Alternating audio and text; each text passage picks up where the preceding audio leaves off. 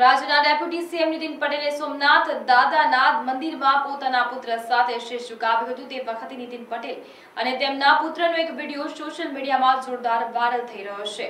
આ વીડિયો પર લોકોની અલગ અલગ પ્રતિક્રિયાઓ સામે આવી રહી છે. તે જોતા આ વિડીયોને લઈને ખુદ સોમનાથ ટ્રસ્ટે ખુલાસો કરવો પડ્યો છે. તમને જણાવી દઈએ કે સોમવારે નીતિન પટેલ અને તેમના પુત્રએ સોમનાથ દાદાના મંદિરમાં શેષ ઝુકાવ્યું હતું તે વખતે નીતિન પટેલના પુત્રએ ખિસ્સામાંથી પૈસા કાઢી મંદિરની પેટીમાં મૂકવા જતો હતો. ત્યારે રાજ્યના ડેપ્યુટી સીએમએ તેને અટકાવ્યો હતો. ત્યારે સોશિયલ મીડિયામાં ડેપ્યુટી સીએમ નીતિન પટેલનો વીડિયો વાયરલ થયો છે.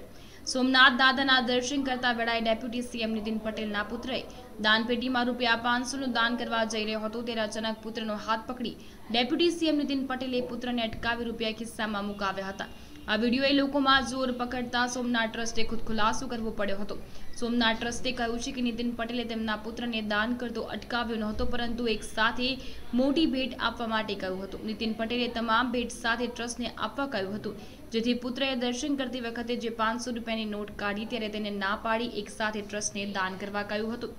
ભરત જાદવ સાથે અને ગુજરાત ન્યૂઝ ગીર સોમનાથ.